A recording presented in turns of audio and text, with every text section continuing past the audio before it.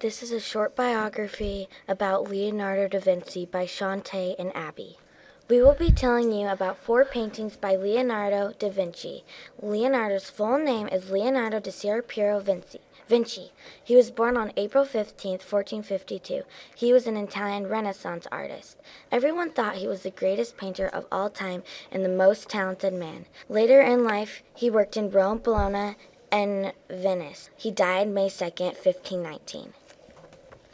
This painting shows a lady that is staring at a man that is drinking ale and eating cake with a tropical down. A book was first put out in public by author William Somerset Maugham. The cake and ale picture has another name.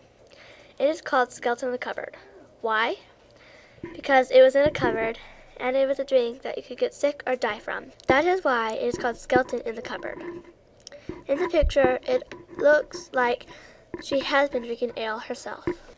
La Bella Ferronniere is also known as an unknown woman. The painting title is as early as the 17th century.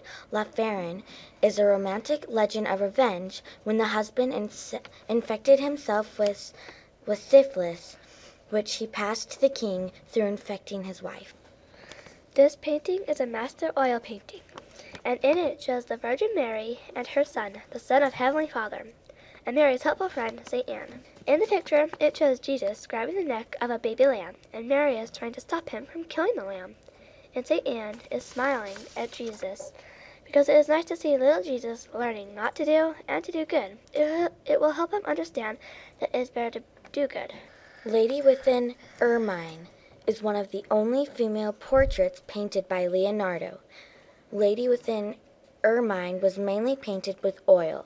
The painting shows a half-length figure, the body of a young woman turned at three quarters of an angle towards the right. Hope you enjoyed our screencast.